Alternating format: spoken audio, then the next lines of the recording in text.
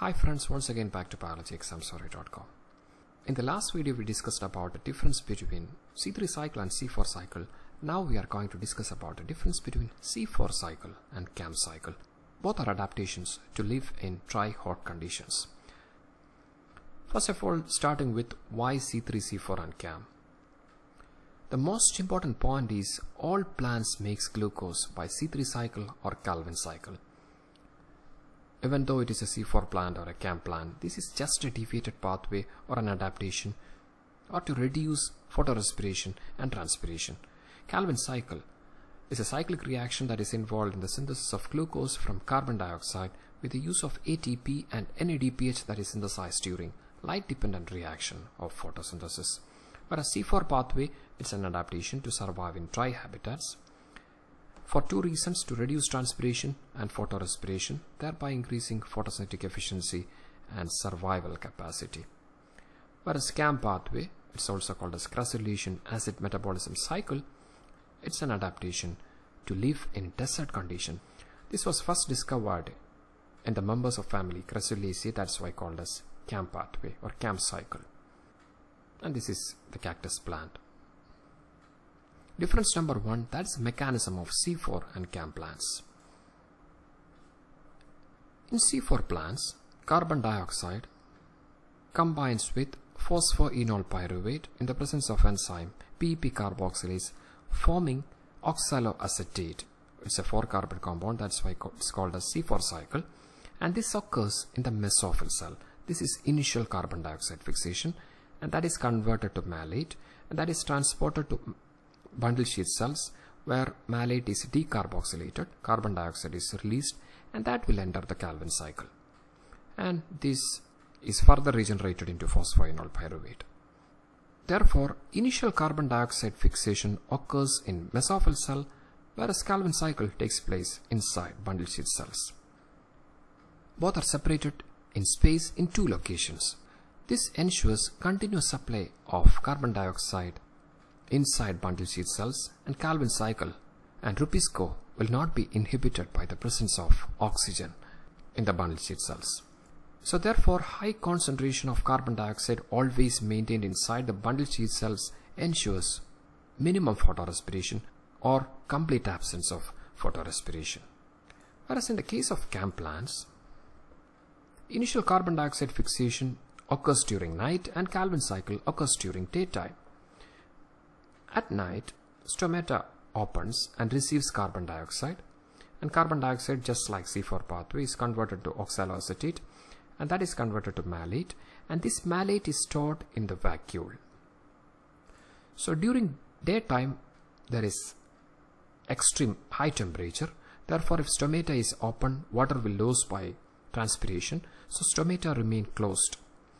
So for Calvin cycle this malic acid that is stored in the vacuole is taken out and that is decarboxylated and carbon dioxide is released and that carbon dioxide will run the Calvin cycle even though the stomata is closed.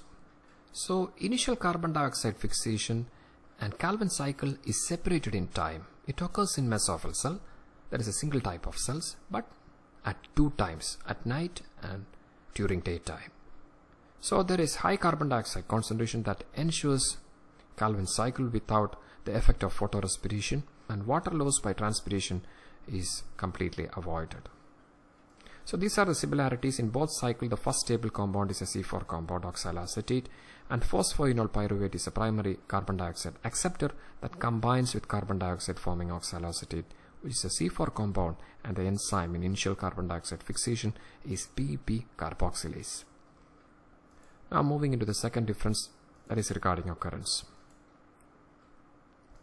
C4 plants examples include maize, sorghum, sugarcane, millets, etc. These plants can grow well in high temperature, high sunlight condition that is close to 40 degrees Celsius where the water availability is low, uh, approximately 900 species. The adaptation is primarily to reduce photorespiration. Majority are monocots.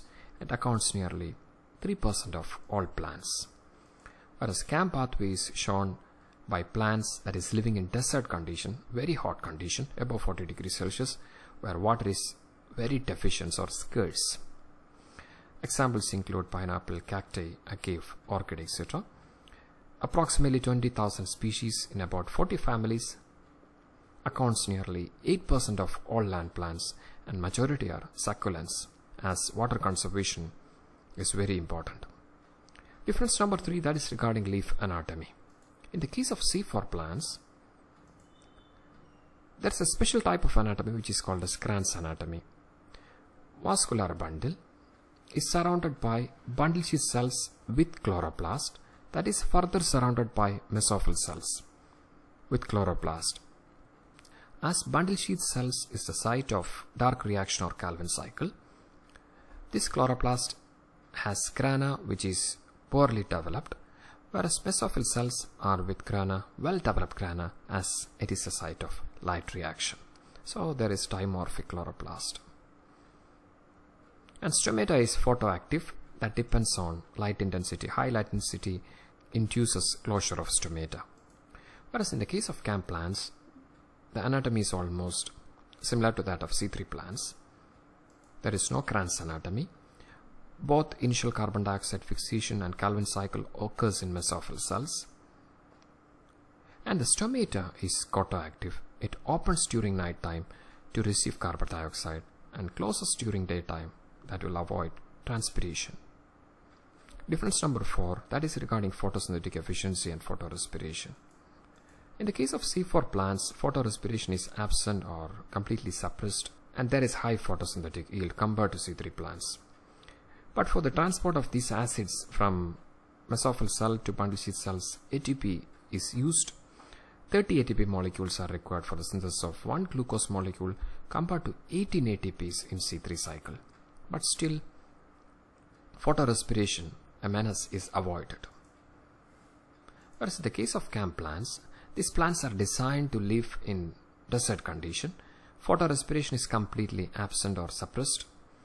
Transpiration rate is very much reduced or completely avoided as stomata opens only at night to receive carbon dioxide. And that's it. You are with biologyexams4u.com. Thank you so much for your support.